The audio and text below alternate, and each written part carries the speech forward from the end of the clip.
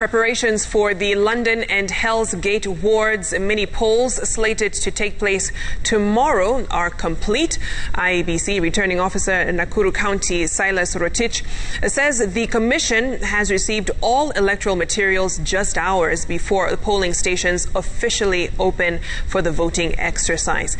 Now Rotich is optimistic that the voting process will be successful under strict adherence to the COVID-19 protocols in London ward Nakuru Town West, 20 candidates were cleared by the IEBC to face off. However, two candidates from KANU and ODM parties have reportedly withdrawn from the contest in support of another candidate.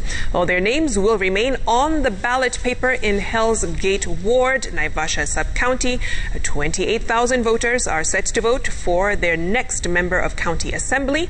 The London and Hell's Gate MCA seats fell vacant last year.